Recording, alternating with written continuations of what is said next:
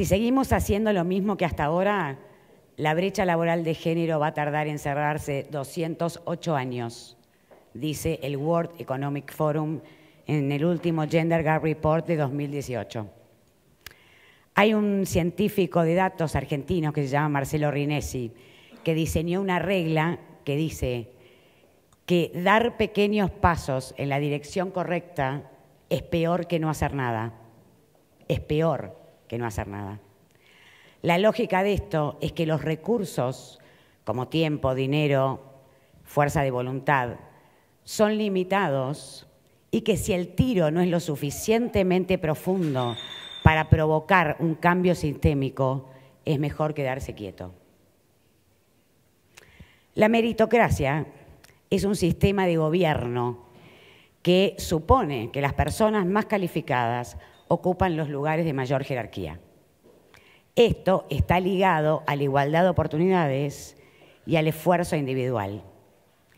Y las mujeres sabemos que no solo no tuvimos igualdad de oportunidades, sino que por más esfuerzo individual que hagamos, no llegamos a romper el techo de cristal. Las mujeres seguimos entrando al mundo laboral bajo las reglas definidas por la misma cultura que intentamos combatir. De hecho, se han hecho y se siguen haciendo muchos esfuerzos para que más mujeres lleguen a lugares de liderazgo, que ocupen lugares de poder. Las leyes de cupo, por ejemplo. Hoy el mercado de capitales presenta a la igualdad de género como un valor para los futuros o los posibles inversores. Sin embargo, los números no cambian o cambian muy poco. El problema empieza y termina en el comportamiento humano, en un sistema androcéntrico, esto quiere decir basado en el poder y la voz del varón como único camino posible. Una sociedad que se construyó bajo ciertas expectativas de lo que significa ser hombre y de lo que significa ser mujer. Un sistema cultural que tiene más de 2.000 años probablemente y que sigue vigente. Si la cuarta revolución industrial presenta problemas éticos, la cultura androcéntrica es una raíz muy profunda de esos problemas. Hace tres años, cuando creé Alabadas, me encontré con una frase de una escritora argentina muy influyente en el, del siglo XX, sobre todo en Latinoamérica. Ella se llama Victoria Paz, llamaba Victoria Ocampo, feminista. Y la frase que hoy sigue siendo el leitmotiv de Alabadas dice, no se puede crear nada fuera de nosotros sin antes haberlo creado en nosotros. Lo que los hombres, fuera de una minoría que bendigo, no parecen comprender es que las mujeres no queremos ocupar en absoluto su puesto, sino por entero el nuestro cosa que hasta ahora no ha ocurrido. Victoria Ocampo, en esta frase que no tiene menos de 50 años, resume la necesidad imperiosa de un cambio cultural radical. Un cambio que pase de una cultura del androcentrismo a una cultura de igualdad de género. Un cambio que llevemos adelante mujeres y varones juntos un cambio de mindset, de creencias profundas que garanticen que más mujeres ocupemos lugares de poder en cantidad y en calidad suficiente que sea sostenible en el tiempo. Ahora, ¿cuáles son las condiciones que deberían darse para que esto suceda? La primera condición es que las mujeres que estemos en lugares de poder valoremos la igualdad de género como sistema cultural. La segunda condición es que los, varones, los hombres, valoren la igualdad de género como sistema cultural e influencien a otros varones. La tercera condición es que varones y mujeres juntos desde ese lugar replanteemos, cambiemos las estructuras organizacionales no se trata de cambiar los resultados que queremos alcanzar, sino de cambiar las formas de llegar a ellos para generar un mundo laboral más inclusivo.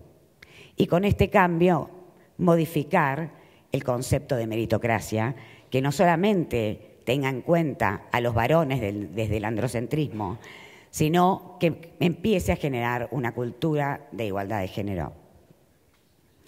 Ahora, no podemos ser conscientes de lo que no vemos y mucho menos de lo que no sabemos que existe.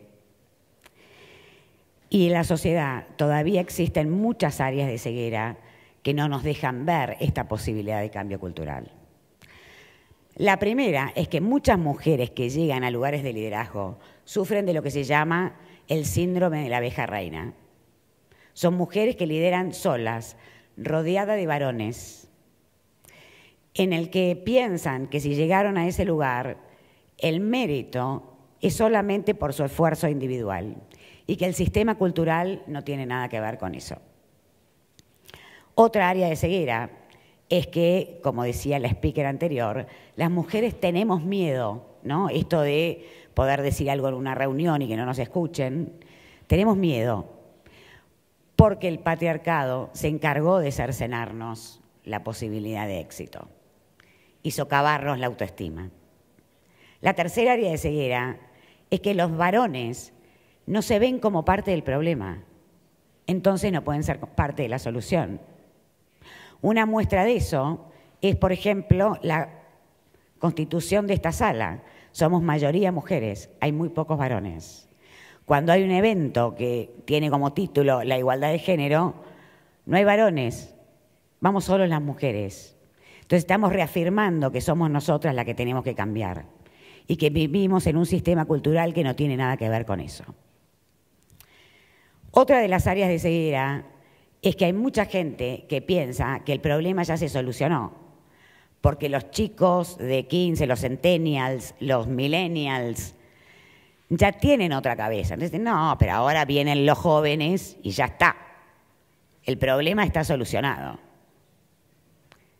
Pero cuando aparecen los centennials y los millennials con otra cabeza, aparecen los algoritmos de la exclusión que son los algoritmos diseñados para reclutar gente en las organizaciones y que como ya hablamos ayer y ya se dijo hoy también, vienen no solamente con el sesgo de quien lo diseña, viene con el sesgo de la cultura de la, de la organización que determina los parámetros para diseñar el algoritmo. Es muy importante traer a la conciencia estas situaciones y es muy importante traer a la conciencia la necesidad imperiosa de un cambio cultural.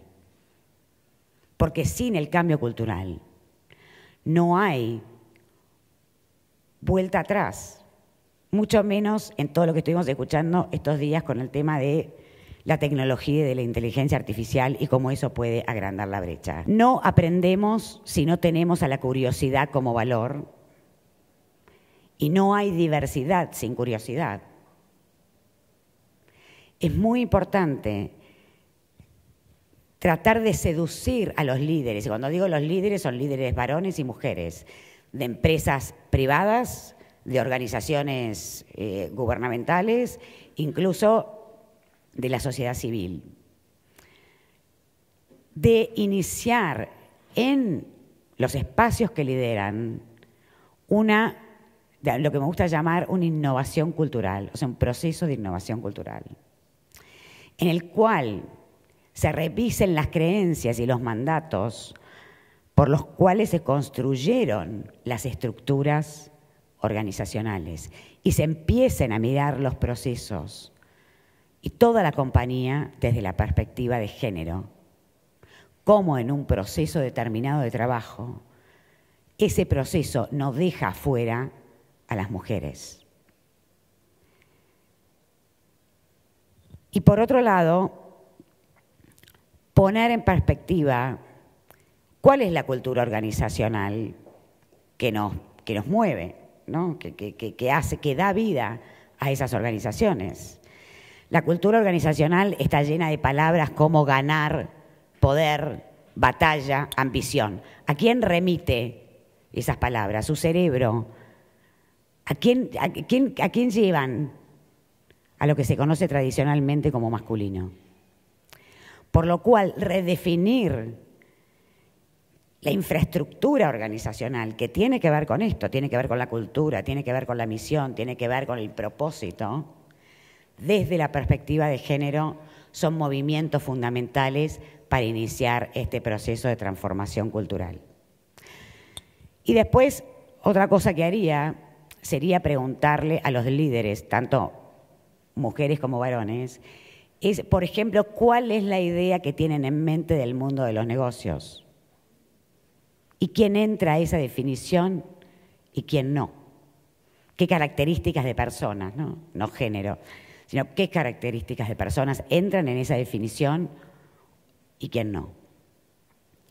Y por otro lado, los invitaría a preguntarse si son conscientes de la desigualdad de género, si verdaderamente para ellos profundamente es un valor la diversidad. ¿Qué estarían dispuestos a hacer para iniciar en sus compañías un proceso de innovación cultural? ¿Cuánto estarían dispuestos a invertir para que el tiro sea lo suficientemente profundo para que haya un cambio sistémico? Y por último, los ayudaría a pensar en cómo redefinir los conceptos que dan vida a las organizaciones y, por supuesto, el concepto de meritocracia.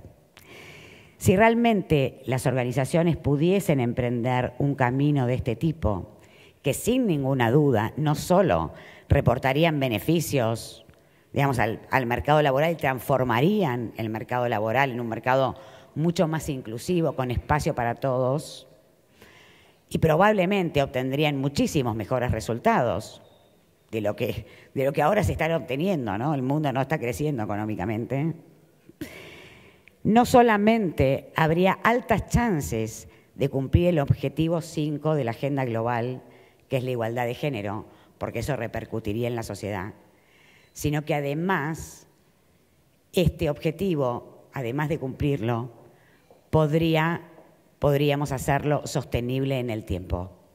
Muchas gracias.